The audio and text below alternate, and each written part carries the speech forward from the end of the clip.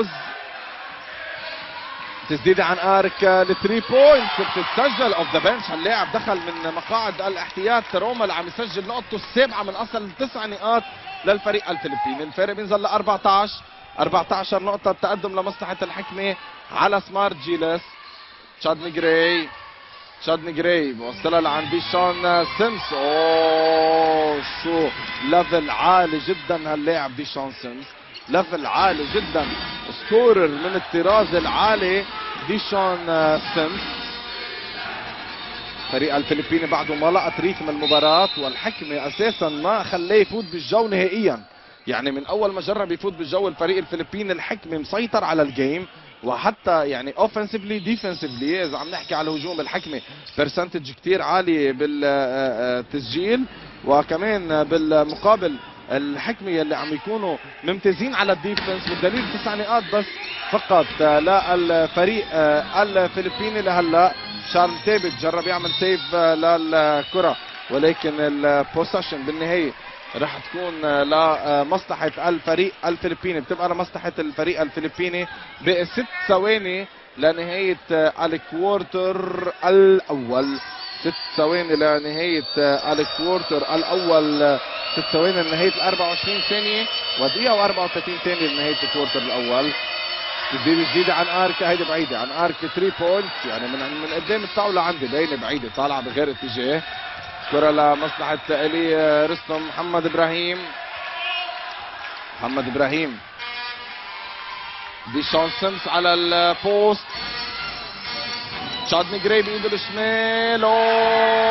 بيسجل تشاد جراي 28 الحكمة 9 سمارت جيلس.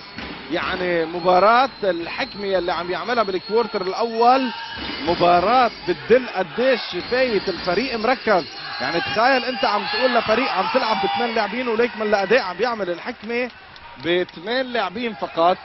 وحاليا 28 الفريق الفلبيني 12 ال 28 الحكمة 12 الفريق الفلبيني. تشاد جراي ما بيسجل. ماركوس بيلتقط ال rebound.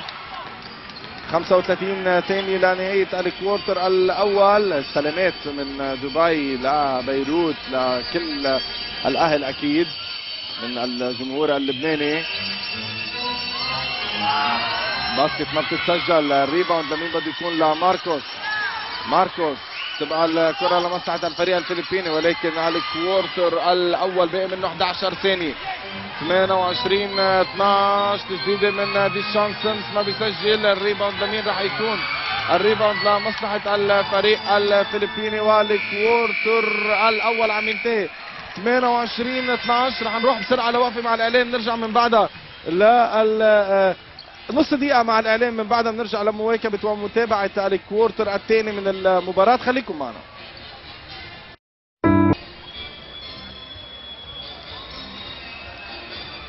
نرجع نحن وياكم لمتابعة مباراة الفريق اللبناني الحكمة بمواجهة سمارت جيلس الفلبيني.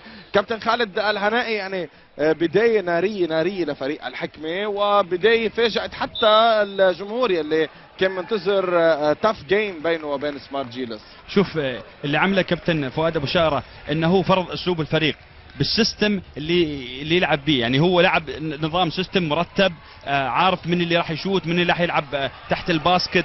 يعني اللعيبة داخلين مركزين عارفين شو يعملون. بعكس الفريق الفلبيني اللي دخل أنا يعني اللي يشوف الفريق الفلبيني يشوف ان مدرب الفريق ما قرأ فريق الحكمة ما شافه كيف بالطريقة يلعب فيها لأنه مش قادر يفرض أسلوبه ابدا ولا قادر يمشي لعيبته إنهم يلعبون. شوف إحنا مجريات اللعب راح يكون فيها تغيرات. تغيرات بالنسبة خاصة للحكمة اللي استبدال لاعبينا لأن آه لاعبينا راح راح يتعبون. يعني لأن في مجهود كبير راح يعملونه فمفروض إن شاء الله الفريق فريق الحكمة راح راح يمشي لعبه ومفروض إنه يفرض أسلوبه مثل ما هو على جميع مستويات المباراة. فاذا انتهيت على الكوارتر الثاني شكرا لك كابتن خالد الهنائي على التحليل الفني للكوارتر الأول وأكيد الكوارتر الثاني ما بين الفريق الفلبيني والفريق اللبناني. لهلا الحكمة حتى آه، عيونه بس. ما فينا نقول حط ولا قدم بالدور النصف النهائي لأنه المباراة بعدها بالكوارتر الثاني. والفارق صحيح إنه كبير للحكمة ولكن الفريق سمارت جيلس آه، سريعين جدا وبيعملوا كامباك بلمح البصر.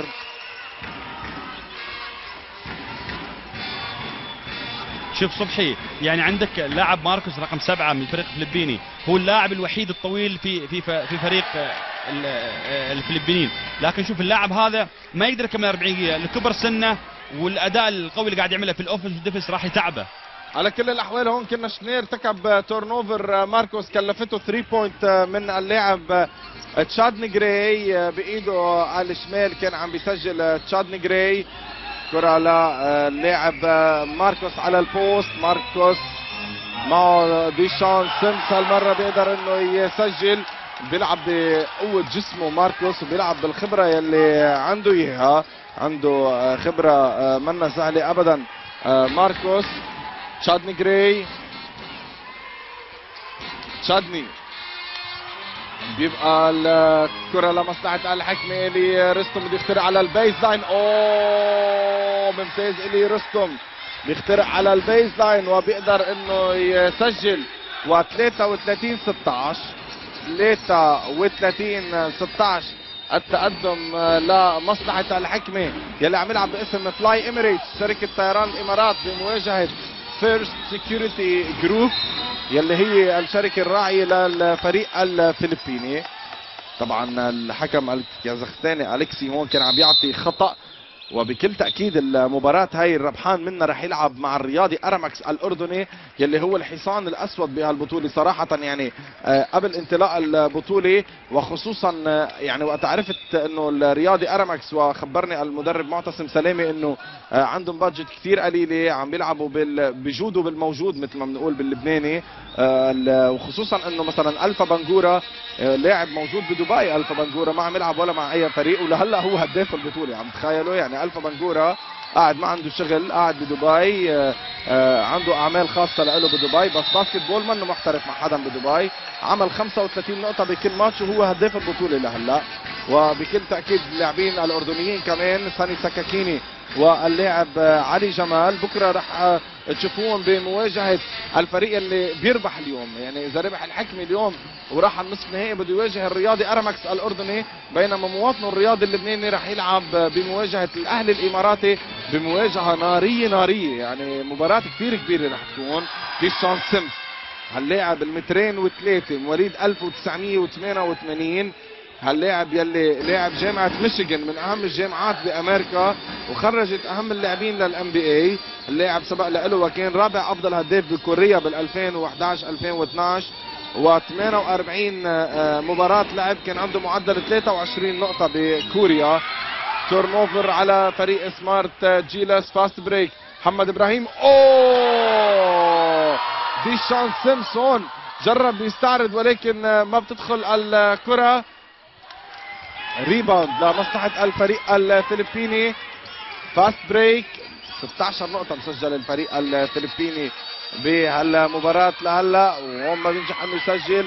ماركوس كمان ما بينجح يلتقط ال rebound الحكمة مسيطرين على كل الأمور بالملعب. ديشان سيمز تحت ال basket بيحصل على الخطأ.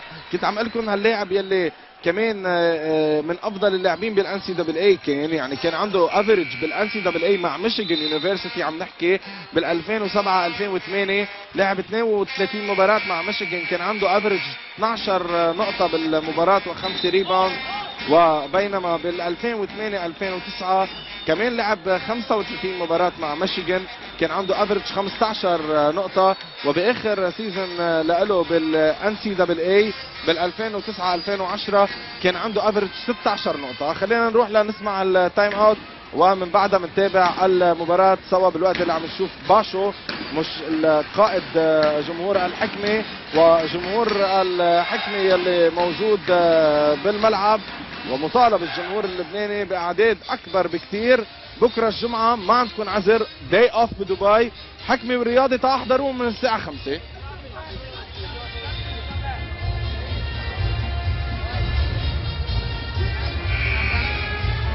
That's your motherland! You're going to play like this? The next step, the next step we're going to play is going to be dribble or uh, Okay?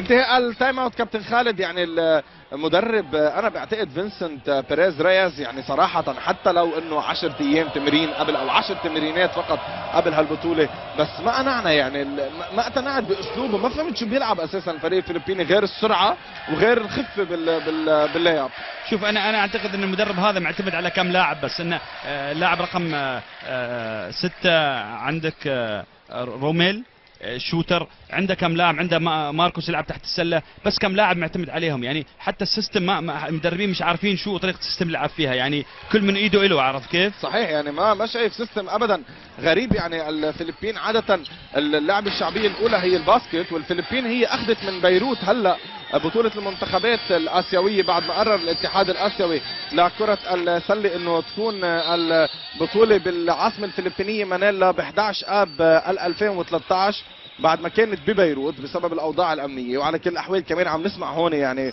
آه إنه ممكن تكون نهائي بطولة آه آسيا للأندية اللي جمعت آه بالمباراة النهائية. كانت من المفترض تجمع مهرام الإيراني والرياضي اللبناني وبسبب آه طبعا آه الحوادث الأمنية اللي صارت بلبنان آه، ما صارت الجيم فمن الممكن تكون بأرض محايدة عم ينحكى أما بالدوحة أو بدبي. بس معلوماتي من الاتحاد الإماراتي أنه الأمور مش وارده ينجمعوا الفريق اللبناني.